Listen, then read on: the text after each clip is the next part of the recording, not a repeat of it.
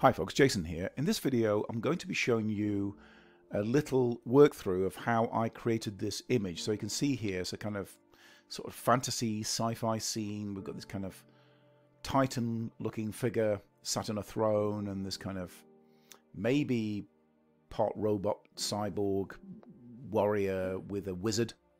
And basically I was able to create this using a combination of Blender Daz 3D and Dream Studio, and um, I was quite happy with the results as it happened. And uh, I've done this mainly just to kind of show you how you can kind of work in sort of partnership with AI like Dream Studio, but also things like Daz 3D, and get some really interesting results. And, and most importantly, quick. This took me approximately around about five hours to do. If I'd had to do this from scratch, it would have taken a lot longer to do. So let's just go and have a look. So this is the final kind of image. Let me just bring up Blender. So this is the scene that I created in Blender. And you can see here, I've got the basic kind of, it's really kind of basic geometry. I created some sort of stairs and it's supposed to be like a sort of throne room. I put these kind of like spheres in there and we've got this kind of like character that I, brought from Daz 3D and some other characters as well. They're supposed to be, well, I think they're originally, I think the idea um, I had that they were going to sort of be warriors serving under the king, that kind of thing. And then it kind of changed. But uh, this is the actual like model. And then if we just go into the uh, viewport shading, you can see here I gave it some lighting and it's got its kind of textures on and things like that. But it's mainly just very basic and um, just to kind of at least kind of give a, a, sort of block out of an idea of what I was trying to kind of go for. Now, I did play around with different angles. I chose something approximately kind of like this. I think it was the original, something like that. I've got all three kind of characters in there. And then I was able to render that out. So if I just go and fetch the render now. So this was the um, the first render. So just straight up, like that's the render, that's the information. Um, I did do this in with Dream Studio in mind because it does this 512 by 512. You can kind of make it longer, but I, I quite like the composition on this, just being square. And so I decided to kind of stick with that. And then I took this image and then put it into Dream Studio. And let me show you some of the uh, different iterations that uh, it came up with. There's my original and if I just go back to this, you can see I kind of played around with some of the parameters in Blender with the plugin.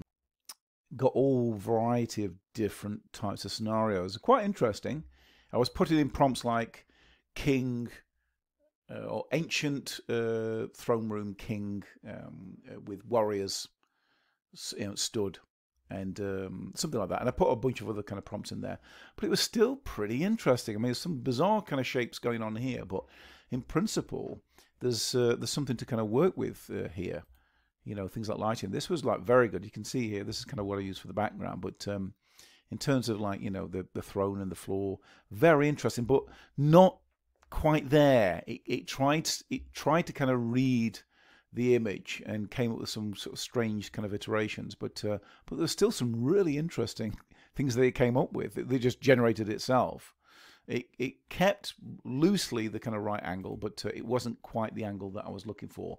If you look at it in comparison with like you know what I put there, um, it's um, it's still pretty good. You know, if you if this is kind of what you're aiming for, you know, a particular kind of angle, it's very useful. But you can see here you know, it missed out the kind of characters, but you know, the lighting, the values, things like that. This is what I think it's really um, useful for. And if you've seen my previous video of playing around with AI in, in Blender, um, you'll see my kind of, you know, you'll see what my kind of thinking is on it, which is like it's more of a tool than a kind of end result. It's it's a kind of halfway point that you can quite, kind of take these things and kind of run with them.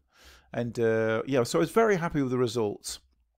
I could have kind of um, put a bit more detail in with the environment, so it's kind of stuck to this kind of, you know, like a grey, um, you know, kind of quite sort of monolithic kind of like slabs and things like that, which is fine.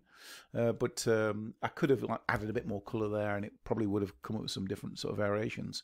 But the results were really interesting. This one in particular was like, I don't think for my scene that I was doing there, but this could be like an idea for something else, you know, that I can kind of work into. So hopefully you can kind of see the kind of value of some of this and like how you can incorporate it uh, into your workflow and just you know have some fun get some ideas down you know and i think from a commercial point of view you know the turnaround this on this can be so quick that you could create some very highly detailed concept art in a relatively uh, short space of time so I thought I'd just uh, show you this. And um, what I'm going to go to next is I'm going to go to the time-lapse video where uh, I'm going to show you the entire workflow. I'm going to probably speed it up quite a lot because it's about five hours, and I'm sure you don't want to sit through five hours. But um, hopefully, uh, you know, you'll find it informative and um, you know get some ideas from it.